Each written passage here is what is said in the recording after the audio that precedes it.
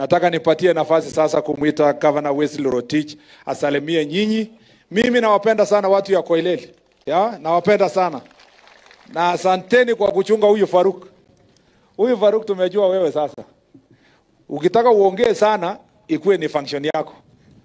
Naona sisi tumeongea tu, atusumbuliwe vile unatusumbuanga. Mimi nimesema mara mingi, huyu Faruk ni mtu tofauti. Hata hao watu watu wa kuandika magazeti hawajui waandike anaitwa nani.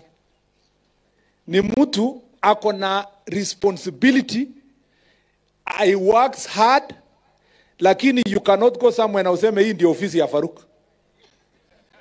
Ofisi ya Faruk ni venye Faruk ako ya bora tu uone William Ruto president na uone Faruk, hiyo ndio ofisi yake.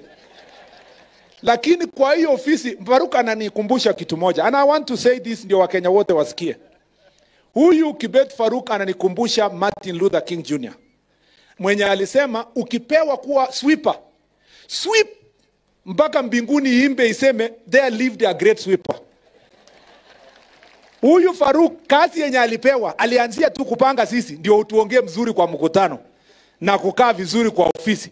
Anapanga mpaka kila mtu, hata naibu wa rais wakati alikuwa anaanza ofisi yake juzi, anasema na mnitafutie Faruki yangu mwenye atakuwa hapa. Hata sisi wenye tukiwa ofisi yetu tunasema tunataka Faruki yetu mdogo, somebody who can organize the president, the deputy president and politicians mpaka wakuwe orderly. Wewe Faruk, Mungu akubariki sana na abariki watoto yako na familia yako, na ile kazi unafanya na makanisa, let that be example to everybody even Kenyans who don't have any office, kwamba if you serve God the way Kibet Faruk amefanya, Mungu atakuinua ufike juu, na sijui sasa juu gani utaendelea kuenda, lakini Mungu aendelee kukubariki.